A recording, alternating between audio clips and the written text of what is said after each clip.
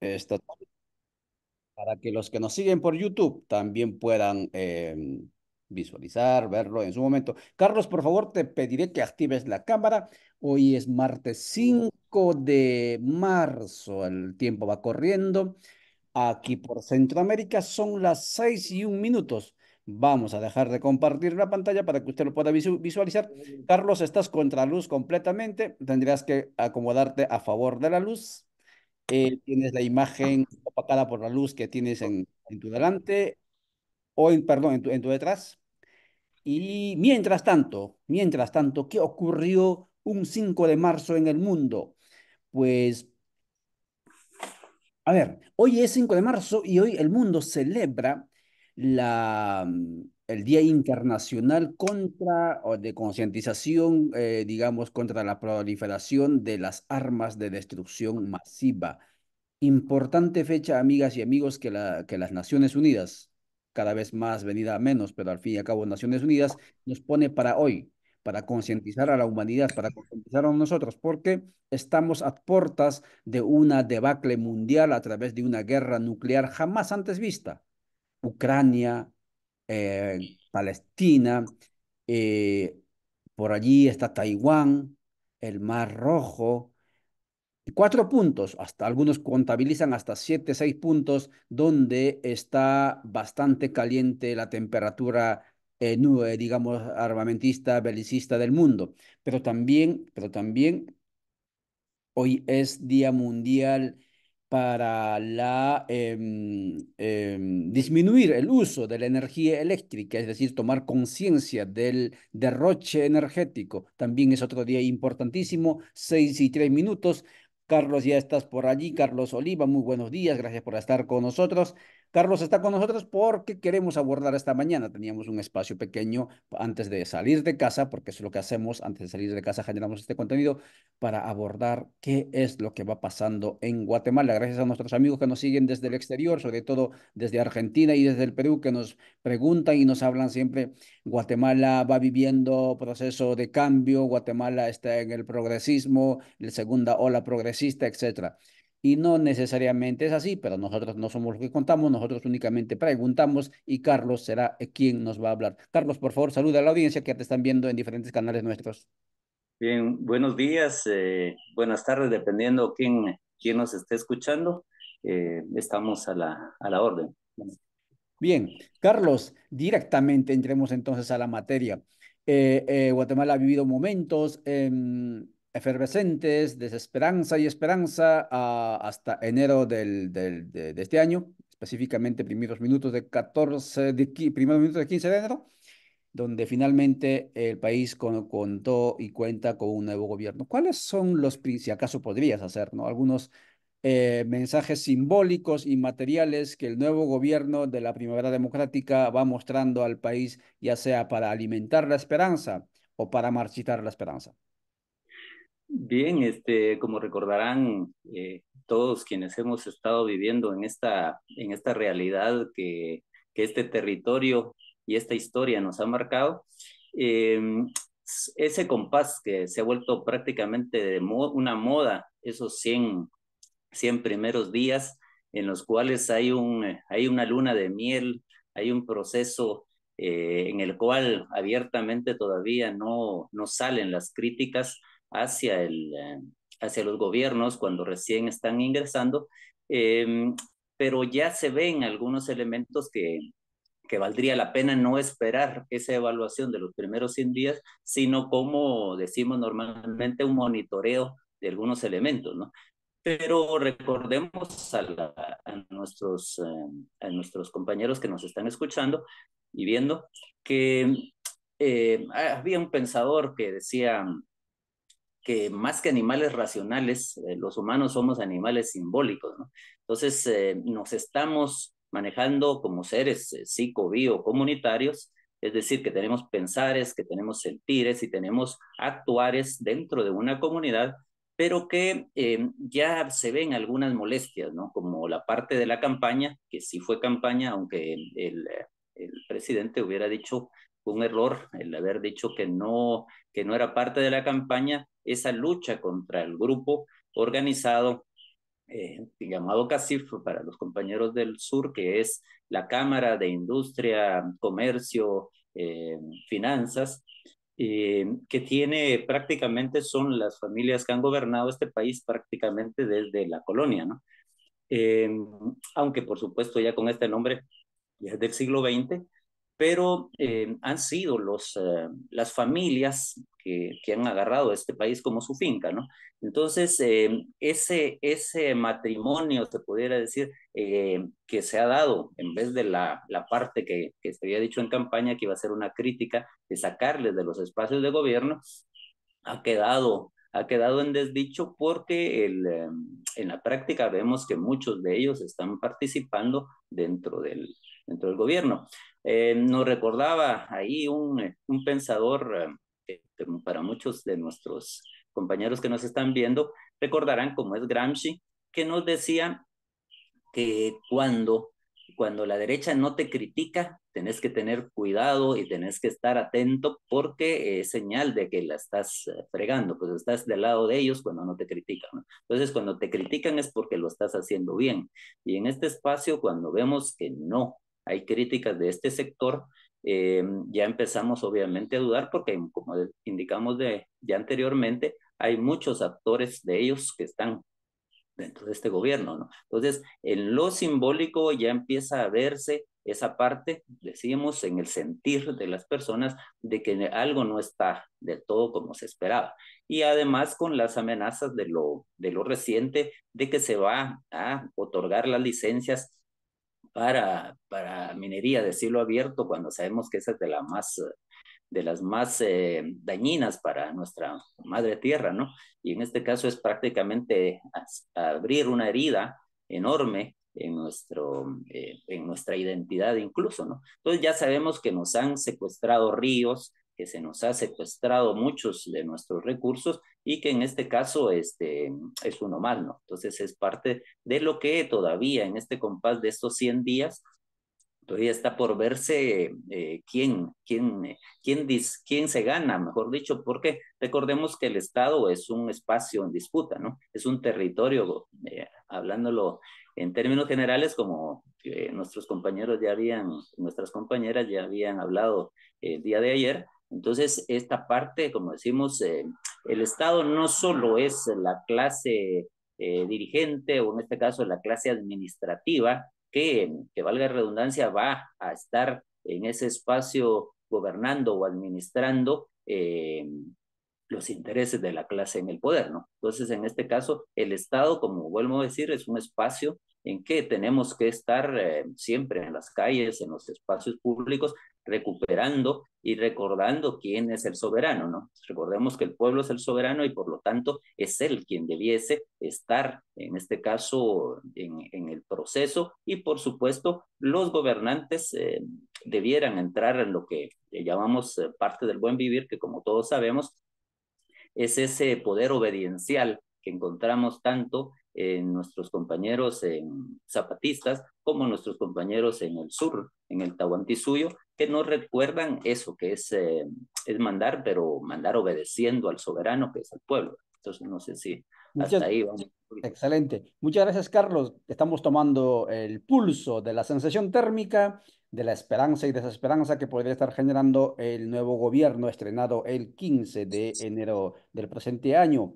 Eh, Bernardo Arevalo aquí en Guatemala y nos deja entonces el mensaje de que somos animales simbólicos y por lo tanto las actitudes simbólicas del gobierno actual van eh, mostrando por dónde va a ir y por lo tanto no hay que esperar los 100, 100 días, sino hay que estar preparados para lo que él decía, este Carlos, ¿no? Eh, las calles, la acción.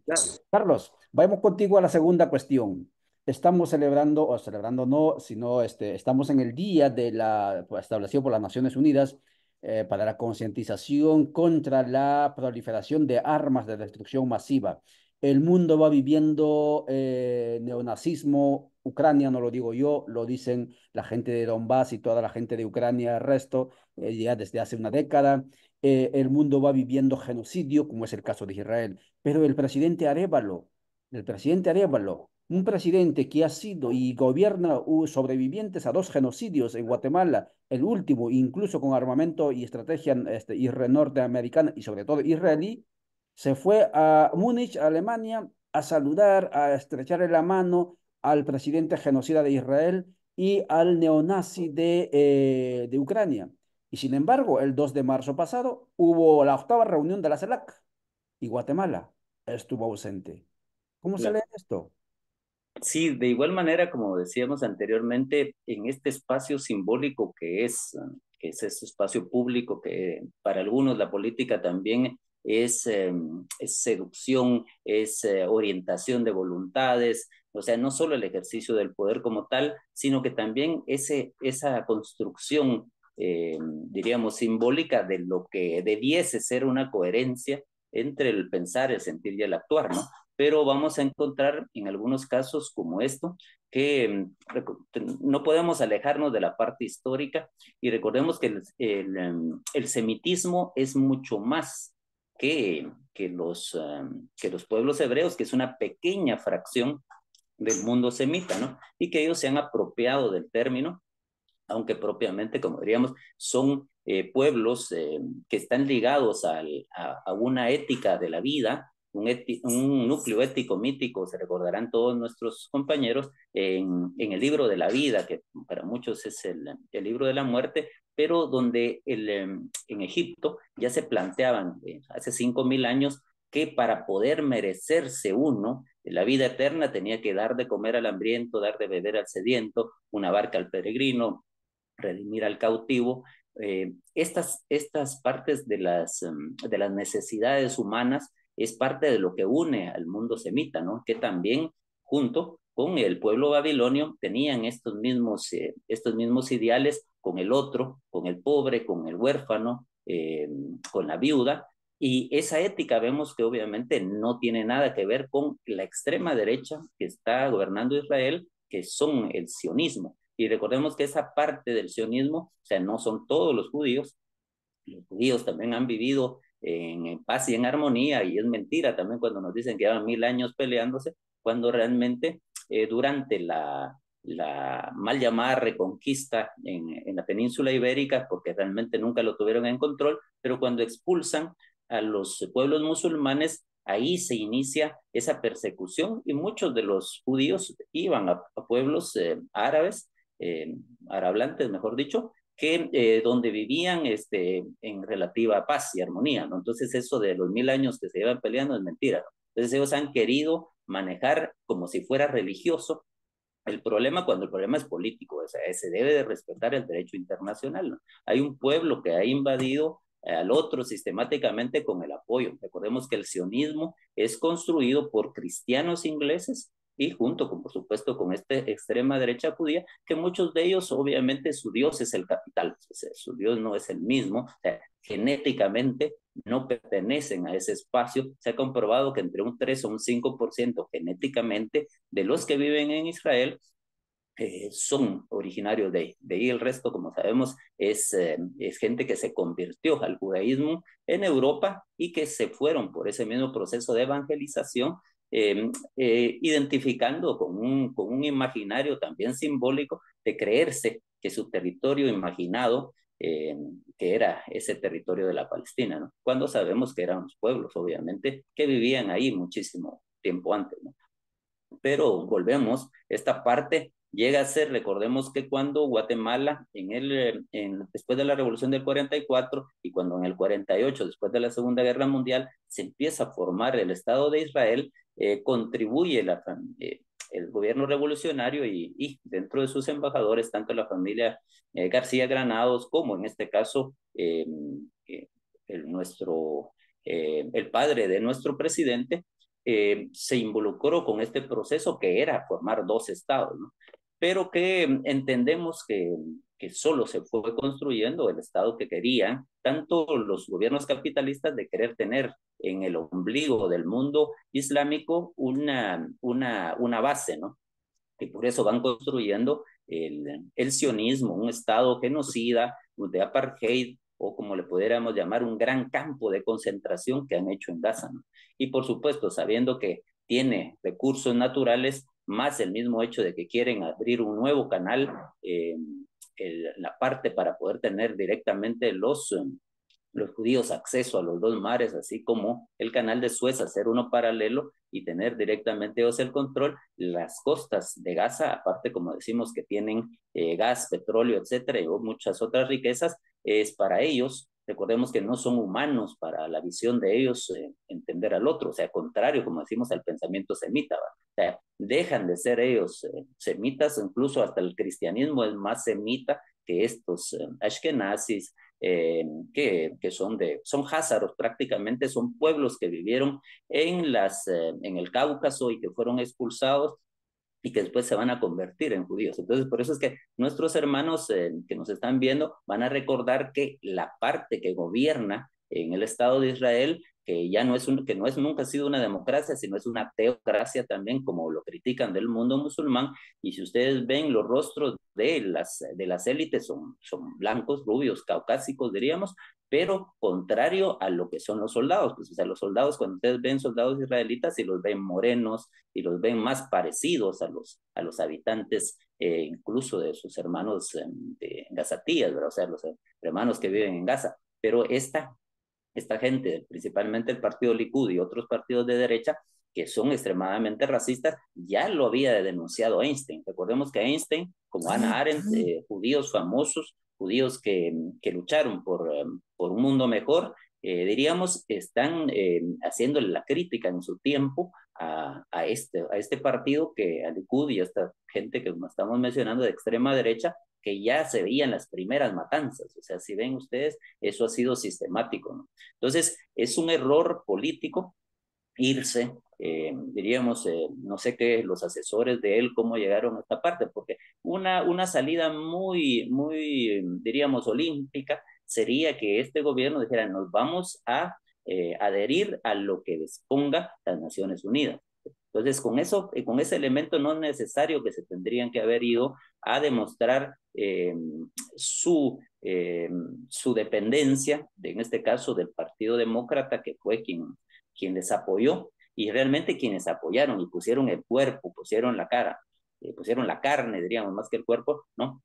Son los grupos sociales a los que tendría que responder primero el, este gobierno, más que propiamente a los intereses que estamos mencionando de, del gran imperio, ¿no? O sea, recordemos que todavía eh, vivimos en una, una etapa, aunque no entra un imperio sistemático de tener colonias como tal físicas, simbólicamente, económicamente, si seguimos siendo países dependientes y prácticamente colonias, como lo son las colonias europeas actualmente, que también se han supeditado a los intereses estadounidenses. ¿no? Entonces tenemos esa, esa contradicción como tal de no tener que haber ido ni a Ucrania ni en este caso a Israel.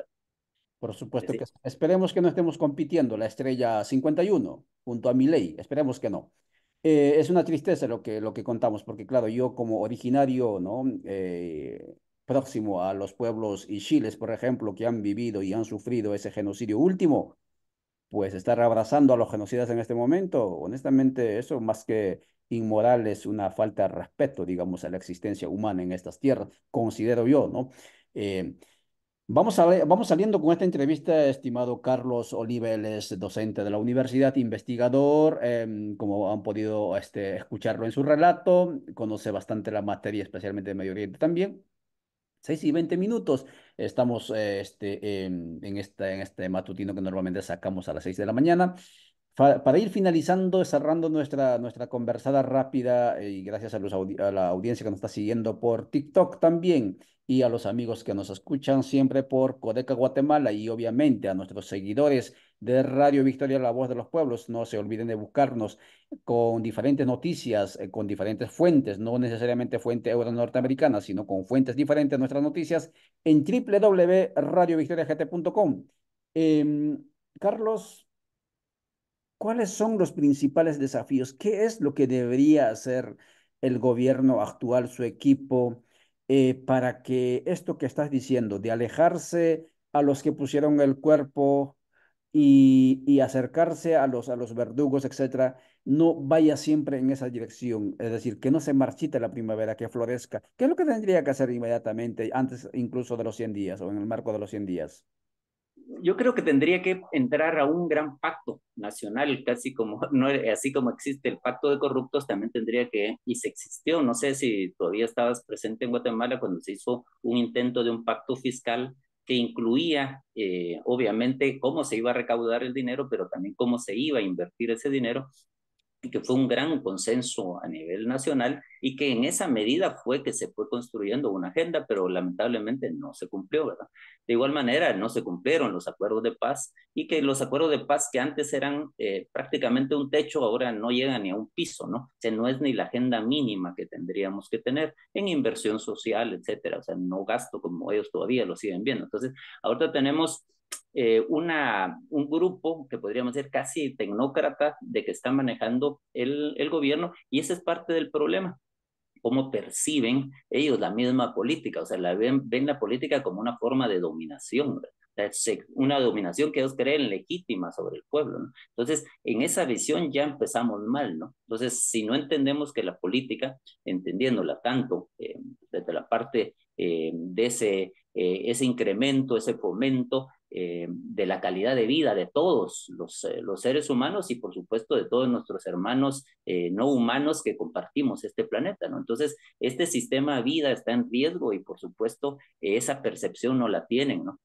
De igual manera perciben el, la política y la ética como separadas y que ellos tratan de ver ese divorcio, no. Tienen que entenderse que esa misma, del momento cuando estamos hablando del incremento y el fomento de la vida, ya está incluida la, la ética en este concepto de política, ¿no? Que como decimos, no la, no la ven de esa manera. Entonces tendríamos que estar eh, recuperando ese, ese pacto, tendríamos que estar eh, recuperando esos procesos democráticos. Antes, por ejemplo, un ejemplo ahorita con los gobernadores es que eh, se pudo haber pedido a, estas, a estos grupos que fueron los que prácticamente apoyaron al pueblo, perdón, al, al gobierno, eh, que debiesen, eh, que, que, fueran ellos quienes propusieran, primeramente por un año eh, o dos, si se quiere, a los gobernadores y después, mientras se limpian los consejos de desarrollo, tanto a nivel comunitario, a nivel departamental, a nivel regional a nivel nacional, eh, mientras se democratizan esos procesos y que se vuelven realmente representantes. Recordemos que la,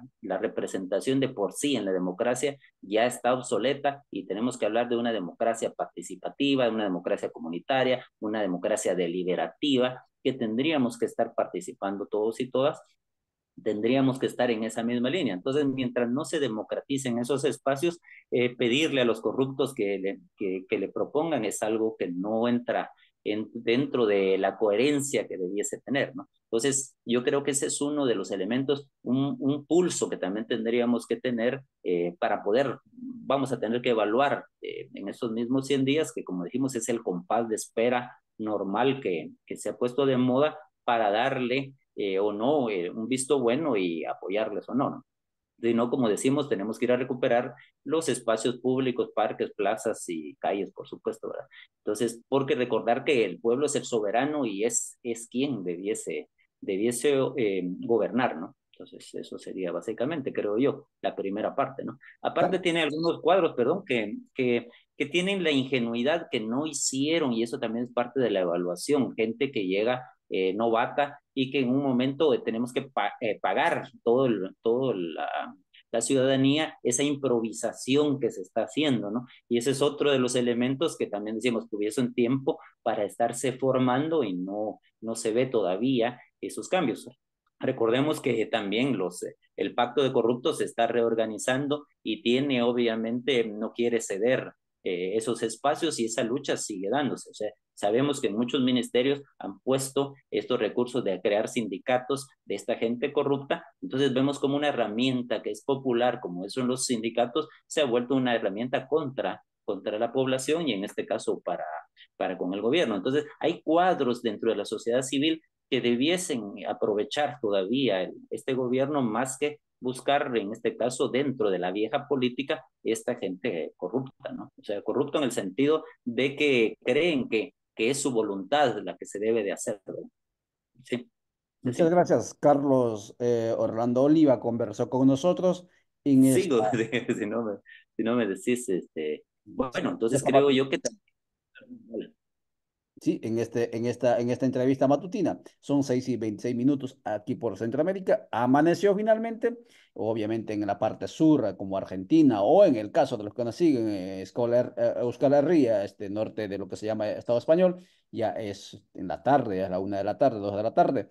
Y Carlos nos deja entonces en, en, el, en el tintero, como siempre, temas absolutamente importantes. Dijo, poder como servicio, quiso decir, y no como sujeción importante eso, ¿no? Este, eh, mandar obedeciendo lo que decía. Otro elemento que nos deja es el tema de el gran desafío que tiene el gobierno, este, ojalá y constante y para todos también, el reencantamiento entre la política y, y la ética. Creo que es fundamental ello.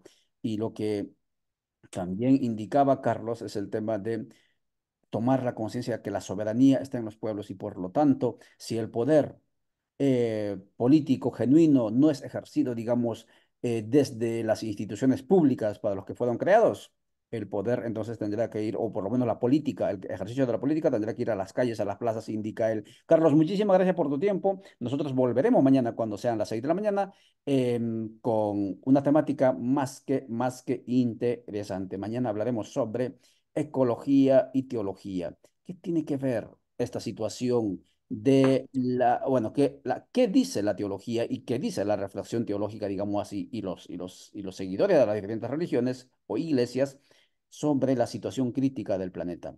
Mañana, entonces nos veremos. Hasta entonces. Gracias, Carlos. Nos veremos. Chao, chao.